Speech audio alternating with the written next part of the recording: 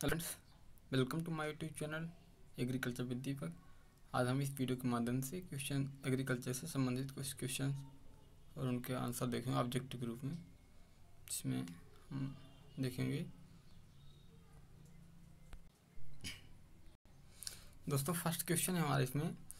Term vitamin was given by term vitamin was given by मतलब कि vitamin शब्द को किसके द्वारा दिया गया था? ये ऑप्शन इसमें। फ़र्स्ट ऑप्शन है Bateson Funk Mendel and Nicholas DJ Nicholas इसमें से हमारा आंसर सही आंसर है इसका फंक फंक ने टर्म विटामिन शब्द को दिए थे, यानी term vitamin was given by Funk next question है हमारा B number C R I stage in wheat was given by C R I stage critical stage of wheat मतलब गेहूँ की यह क्रांति का अवस्था होती है सी आर आई स्टेज इसको किसने दिया था? ऑप्शन से इसमें Parihar doctor Shastri B L Bhardwaj Wilcox इसका आंसर है डॉक्टर, इसका आंसर तीसरा number B L Bhardwaj. B L Bhardwaj ने सी आर स्टेज को हीट की सी आर स्टेज को बी एल भारद्वाज ने दिया था।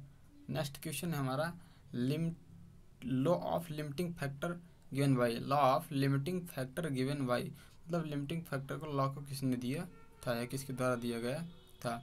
इसमें हमारे आंसर देखेंगे।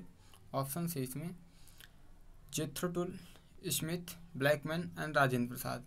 इसका सही आंसर है दोस्तों, ब्लैकमैन। ब्लैकमैन ने लॉ ऑफ़ लिमिटिंग फैक्टर दिया था। Law of limiting factor given by Blackman.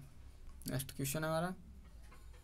Harvesting index was given by harvesting index was given by S K Vasal doctor K L Chadha F W Went और next option है Donald इसका तो सही answer है हमारा Donald Donald ने harvesting index किया था 1968 में नेक्स्ट क्वेश्चन है हमारा depth of water required by a crop is known as depth of water required by a crop is known as इसको क्या कहते हैं? मतलब डेप्थ ऑफ़ वाटर को क्या कहते हैं? ड्यूटी हो गया ऑप्शन क्लाउड्स हो गया डेल्टा हो गया क्यूब इसका दोस्तों सही आंसर है हमारा तीसरा नंबर का delta. Depth of water record by crop is known as delta.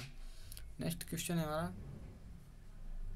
Foundation seed is produced from मतलब फाउंडेशन सीड जो होता है उसको कहाँ से प्रोड्यूस किया जाता है? किसके द्वारा, कौन से सीड के द्वारा प्रोड्यूस किया जाता है? इसका ऑप्शन है nucleus seed breeder seed quality seed certified seed इसका सही आंसर है दोस्तों ब्रीडर सीड ब्रीडर सीड के द्वारा फाउंडेशन सीड को प्रोड्यूस किया जाता है। और जो ब्रीडर सीड होता है, इसका जो टैग होता है।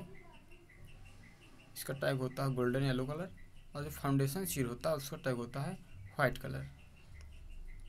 नेक्स्ट क्वेश्चन है। Name of the first phase of water erosion. Name of the first phase of water erosion मतलब वाटर इरोजन की जो फ़र्स्ट फ़ेज़ होती है, कौन सी होती है? इसके ऑप्शन है वो sheet erosion, splash erosion, rill erosion, none of these इसका सही आंसर है, स्प्लैश इरोजन। स्प्लैश इरोजन को first phase of water erosion कहा जाता है। नेक्स्ट नंबर है आपका। Operation flood programme related to. जो ऑपरेशन फ्लड प्रोग्राम है, किससे रिलेटेड है वो?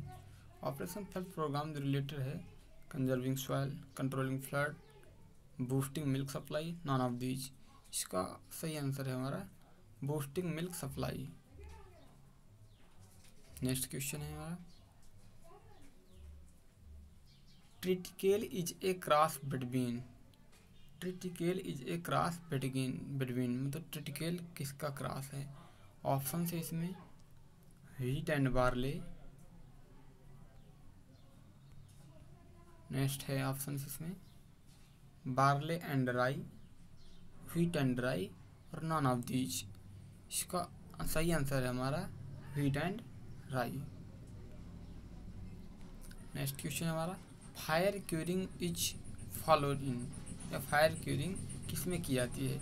इसके ऑप्शंस हैं chewing type of tobacco bidi tobacco hookah tobacco none of these इसका सही आंसर है हमारा first number chewing type of tobacco next number है हमारा pedology pedology consider soil as मतलब पेडोलॉजी के अंतर्गत हम सॉइल को क्या कहते हैं? इसके अंतर्गत ऑप्शन इसमें natural body natural habitat प्योरलेशन side one none of this इसका सही आंसर है हमारा first number natural body pedology दीजिए नेचुरल बॉडी इसको कंसीडर करते हैं नेचुरल बॉडी को। पेडोलॉजी में सॉइल को नेचुरल बॉडी कहा गया था।